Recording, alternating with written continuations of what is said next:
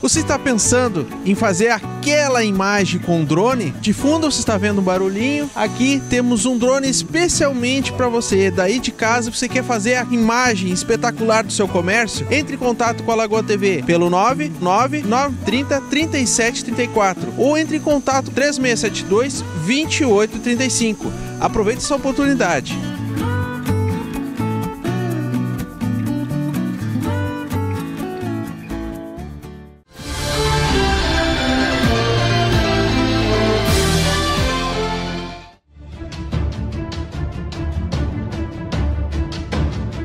16 reajustes no preço dos combustíveis em apenas 30 dias.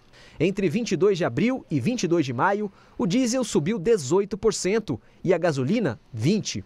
Números que o governo Temer não consegue ou não quer explicar. Que contradição!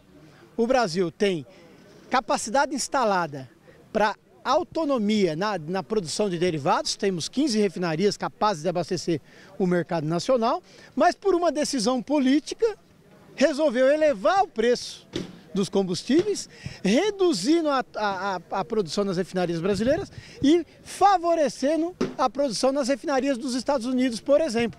Quer dizer, é, uma verdadeira, é um verdadeiro crime de lesa pátria.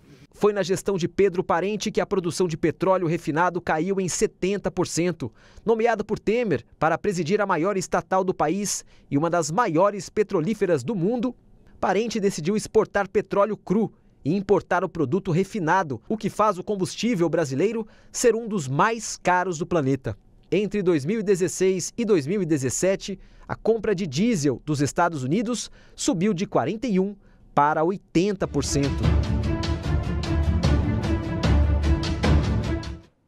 No Senado, parlamentares em plena segunda-feira para uma sessão extraordinária.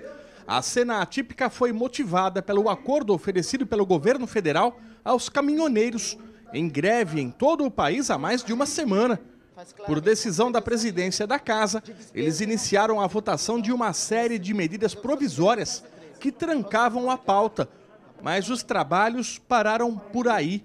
A expectativa agora é pela análise das três medidas provisórias do acordo, encaminhadas pelo Palácio do Planalto, que iniciam a tramitação pela Câmara dos Deputados. As MPs que tratam desde o preço mínimo do frete até a isenção da cobrança de eixos suspensos em pedágios foram poupadas. O principal questionamento foi o corte de 46 centavos por 60 dias no preço final do diesel, um valor de 9,5 bilhões que, segundo a Fazenda, serão pagos em outros tributos, como a reoneração de setores produtivos. Na Replan e Paulínia, interior paulista, petroleiros chegaram de madrugada, mas eram esperados pela polícia.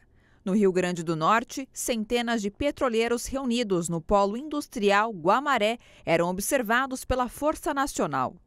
No Paraná, o Sindipetro e o Sindiquímica reuniram trabalhadores na Fafem e na Repar. Também houve ato na Regap, em Minas Gerais e na Bahia.